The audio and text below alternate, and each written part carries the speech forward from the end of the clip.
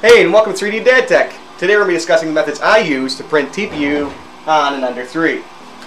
Now, there comes a controversy debate on if it is possible to print TPU on a stock Ender 3, and the answer is yes, it is possible. But, after extensive research, I have found that some operators find it rather difficult to print TPU on a stock Ender 3.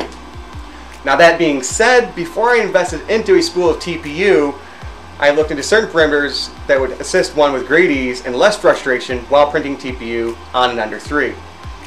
Now, by consolidation of ideas, projected into one, this is the method I came up with that works for me. Hopefully, it can work for you. The first required upgrade for this method to be reproduced is the direct drive. The direct drive can be found on Amazon.com. You have your micro Swiss, a lot of people prefer. And then you have your Creality, which is fairly cheaper, about half the cost. So I went with this one. After you've added Direct Drive to your cart, you can now go ahead and search for the Ender 3 glass bed. My personal preference for mounting a glass bed to an Ender 3 is a glue stick method. This method can be found down below in the description. There are many options to choose from, but this is the option that I went with to provide this method. After you have the recommended upgrades purchased and installed, you are now ready to open Cura. The first step in Cura is change your filament type. You're going to change your filament type to TPU. Now that you selected your filament type, you're going to have to select an STL file, whether it be a one you made or one that you found on the internet. Here are the settings that I have found to work for me. You're going to want to start off first by changing the material settings. This can be done by dropping down the Material tab and changing the printing temperature to 230 degrees Celsius and the print bed temperature to 70 degrees Celsius.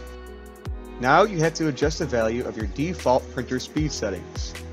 This can be done by clicking the tab, dropping it down, and now inputting 30 millimeters second.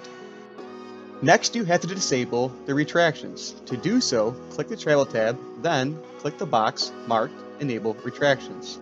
Now we scroll down to the bottom where we see the Experimental tab. Open the tab and you will see Enable Coasting. Click the box Enable Coasting. You see these numbers right here. These numbers fluctuate depending on your personal preferences that you have on your machine.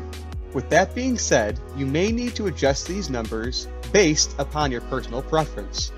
To convert the now present STL file into a G-code, minimize this menu, and go down to the bottom where it says slice. With decreasing the printer speed to 30 millimeters a second, you're now going to see an increase on the completion for your estimated time for your print. Once the file has been sliced into a G-code, it can now be saved to the Creality provided micro SD card. The new G-code file is now ready to be printed in TPU. Hey, so using this provided method, these were some of the prints I was able to achieve. Got Batarang, desktop caddy, hold your pens, phone, all nice one little spot.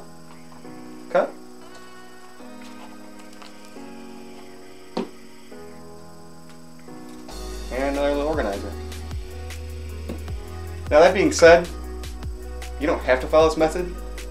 You can choose to. But whichever method you choose and it works for you, that's the one that works for you. Thanks for watching. Take care.